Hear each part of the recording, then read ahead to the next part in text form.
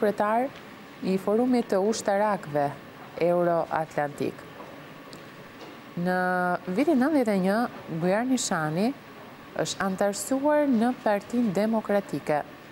Në dy mijë e një është zgjedhur sekretar i degës së Partisë Demokratike për Tiranën, në dy mijë e pesën anëtar i Këshillit Kombëtar të Partisë Demokratike dhe më pas anëtar i Kryesisë Qendrore të kësaj partie. Në korrik të dy mijë e pesës, zoti Nishani është zgjedhur deputet në zonën elektorale tridhjetë e katër në Tiranë si përfaqësues i Partisë Demokratike. Nga marsi i dy mijë e shtatës deri në shtator të dy mijë e nëntës ka mbajtur portofolin e ministrit të Brendshëm, Nga shtatori dy mijë e nëntë në prill të dy mijë e njëmbëdhjetës ka kryer detyrën e ministrit të Drejtësisë për t'u rikthyer në prill të vitit dy mijë e njëmbëdhjetë si ministër i Brendshëm deri në qershor të vitit dy mijë e dymbëdhjetë, kohë kur Kuvendi i Shqipërisë e ka zgjedhur në detyrën e kreut të shtetit në raundin e katërt me shtatëdhjetë e tre vota pro dhe një votë kundër. Në njëzet e katër korrik të dy mijë e dymbëdhjetës, Bujar Nishani është betuar në Kuvendin e Shqipërisë si President i Republikës. Gjatë mandatit të tij, Nishani ishte përqendruar në procesin e integrimit evropian të vendit dhe sfidat globale që prekin Shqipërinë, siç është kriza e imigrantëve ose luftimi i ekstremizmit islamik dhe radikalizmit. Gjatë shumicës vizitave shtetërore, jashtë vendit, politika e Bujar Nishanit ishte orientuar maksimalisht në forcimin e marrëdhënieve të fqinjësisë së mirë, duke përmendur mbështetjen e saj për pjesëmarrjen e Kosovës në të gjitha aktivitetet multilaterale, rajonale dhe ndërkombëtare. Bujar Nishani ishte bashkëshort i Odeta Nishanit, si edhe baba i dy fëmijëve, Ersi dhe Fiona Nishani. Vijojnë homazhet të cilat sapo kanë nisur për ditën e sotme, në ditën e dytë pra të tyre nga ora 10 deri në orën 12. Janë homazhet pra brenda ambienteve të presidencës, shohim uh, deputetë të Partisë Demokratike, zoti Salianji, zoti Gjekmarkaj, që kryejnë uh, homazhe tani.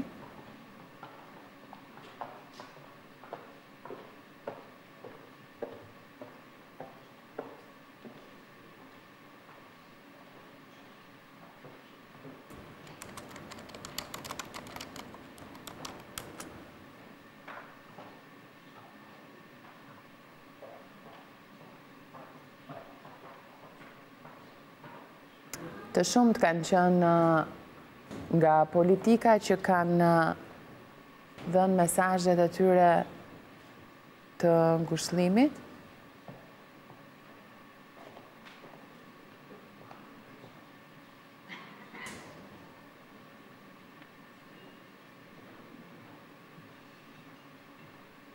Po kështu edhe përfaqësues të institucioneve të Kosovës, si edhe liderë të subjekteve politike, Nga dy vendet pra si Shqipëria dhe Kosova kanë shprehur ngushëllimin për vdekjen e ish-presidentit të Shqipërisë zotit Bujar Nishani, duke thënë se ai ka përfaqësuar kombin dhe Shqipërinë me dinjitet të veçantë. Zoti Nishani u nda nga jeta në formë të parakohshme, pasi prej dy muajsh vuajti komplikacionet e infektimit me Covid, pra ishte një situatë post Covid, duke komplikuar pra situatën shëndetësore. Vetë presidentja e Kosovës, Vjosa Osmani, shkroi një mesazh ngushëllimi ishte model i atdhetarit të pashoq, i cili përfaqësoi Shqipërinë me dinjitet të lartë dhe përkrahu Kosovën pareshtur deri në frymën e fundit. Ai një jetë të tërë ia kushtoi Shqipërisë dhe shqiptarëve, duke qenë shembull i politikanit racional e me integritet, në emër të qytetarëve të Republikës së Kosovës, i shpreh ngushëllime familjes Nishani, si edhe miqve dhe bashkëpunëtorëve, shpirti i presidentit Nishani pushoftë në paqe ka shkruar Vjosa Osmani, Presidente e Republikës së Kosovës. Po kështu edhe Albin Kurti ka shkruar se Bujar Nishani do të kujtohet për kontributin e tij në karrierën profesionale si ushtarak dhe pedagog, deputet dhe ministër. Gjatë mandatit të tij si President i Republikës së Shqipërisë, me maturi dhe urtësi politike punoi për shtetin modern shqiptar.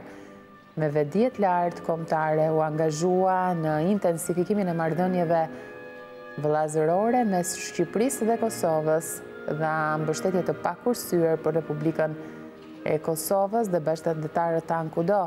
Jam mirënjohës për dhënien e shtetësisë shqiptare gjatë mandatit të tij. Në këto ditë të vështira për familjen, në emër të Qeverisë së Republikës së Kosovës dhe në emrin tim, ju shpreh ngushëllimet më të sinqerta zonjës Odeta për humbjen e bashkëshortit, Ersit dhe Fionës për babain dhe mbarë kombit shqiptar për presidentin e shtetit tonë amë, ka shkruar Albin Kurti. Po kështu mesazhe ka patur edhe nga kryetari i Partisë Demokratike të Kosovës Memli Krasniqi, nga kryetari i LDK-së Lumir Abdixhiku.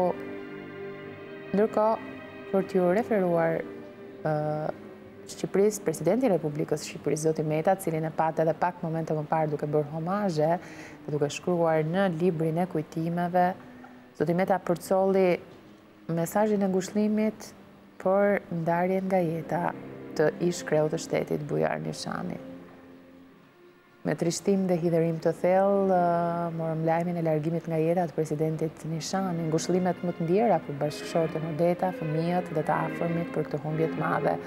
Ishte mesazhi i parë i ngushëllimit që shprehu kreu i shtetit Zoti Meta, Nishani do të kujtohet gjithnjë si një personalitet me vlera të rralla, të një udhëheqësi me integritet dhe vizion. Kontributi i tij për Shqipërinë dhe demokracinë do të kujtohet përherë me respekt.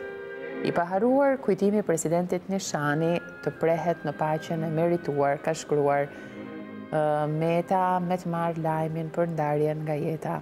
të ish-presidentit. Ndërkohë, Kryeministri Rama përcolli mesazhin e tij për ndarjen nga jeta. Të zotit Nishani u prehtë në paqe ngushëllime familjes. Ka qenë ky postimi i Kryeministrit Rama. Ndërkohë, ish-Kryeministri Berisha